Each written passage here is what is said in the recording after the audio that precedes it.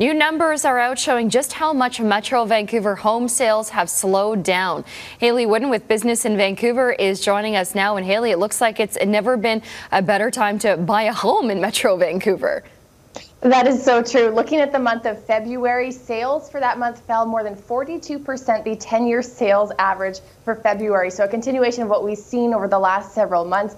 Add to that, too, that we saw about 20 more, 20% more new homes listed for sale February than there were at the start of the year in January. And we're seeing some pressure placed on prices, which is a good thing again for buyers. The benchmark composite price for residential homes in the region down about 6% year over year, dragged down by falling prices in the detached detached home space down about 10%. If you look at the active sales to listings ratio, it's at about 12.8%. When it falls below 12%, that's when the Real Estate Board of Greater Vancouver says we see even more downward pressure on prices. Any prediction from them on what they expect going forward?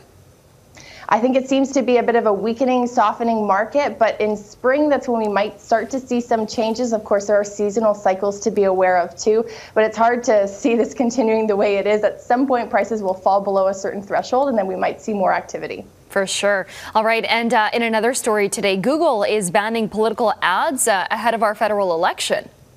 That's right. This is in response to Canadian legislation passed in December that requires platforms like Google to keep a registry of all advertising that they list indirectly or directly tied to the election. Now, Google has said it's backing away entirely from this issue. Instead of meeting what are fairly strict transparency rules, it's going to modify its systems to prevent anyone from running any kind of political or partisan ads. The company says instead it's going to focus on directing voters and users to election related information, but not running ads. All right. Hayley Woodin with Business in Vancouver on this Tuesday morning. Thanks, Hayley.